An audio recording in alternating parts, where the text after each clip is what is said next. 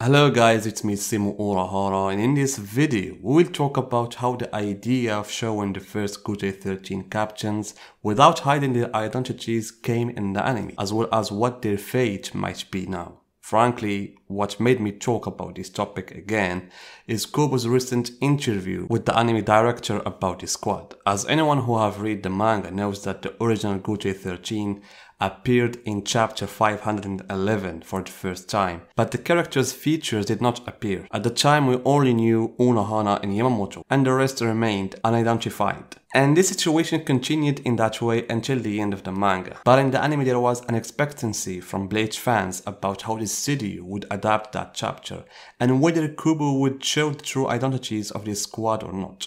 However, the anime staff had the same desire as the fans, so they asked Kubo to give them some designs for the characters of that squad, and they asked Kubo for two designs.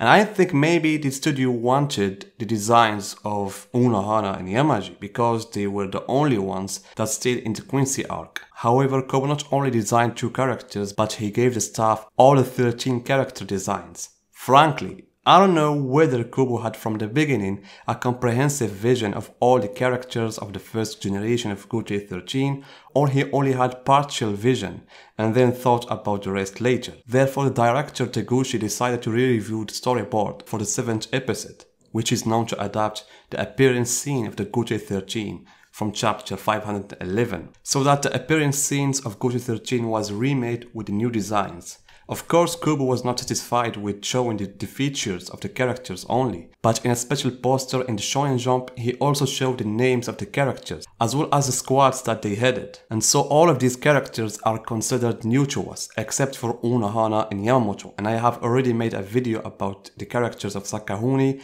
and what his relationship might be with Ukitake, while we know that Chika is from Shihoin family. But now the real mystery remains what was the fate of these characters? Where are they now?